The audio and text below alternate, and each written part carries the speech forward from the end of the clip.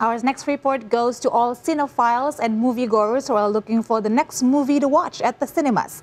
Our recommendation today is Hijack 1971, which recounts the true event of the Korean Airlines flight F-27 hijacking in 1971, and it will hit Indonesian cinemas on July 17.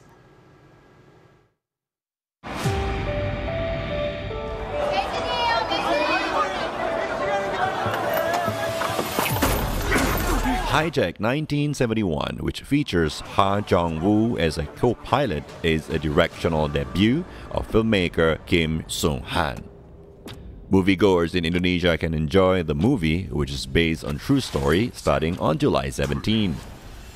Hijack 1971 takes its inspiration from the real hijack case of civilian airline Korean Air Flight F-27, which flew from Gangwon's Sokcho Airport to Seoul's Gimpo Airport in January 1971.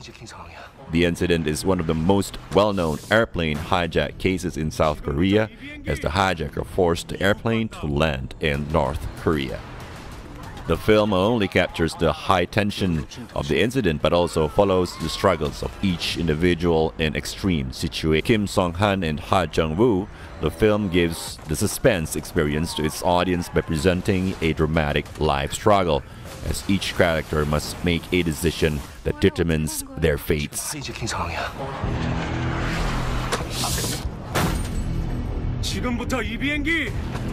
이북 간다.